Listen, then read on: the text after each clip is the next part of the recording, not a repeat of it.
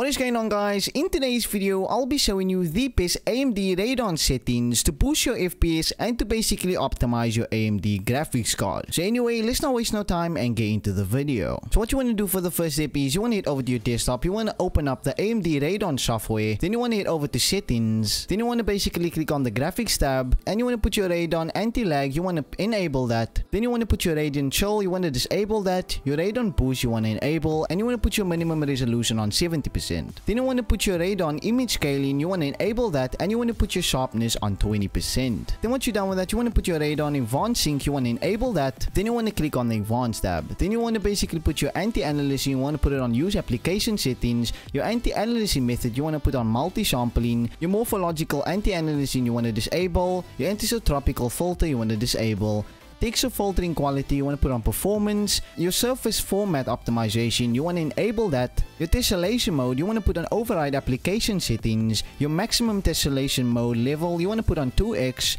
your OpenGL triple buffer you want to enable and then once you're done with that you basically optimize your PC and you should be getting the highest frames. But anyway that was the end of this video. If you found this video helpful please give it a like also subscribe to the channel for more tips and tricks just like this. Anyway peace out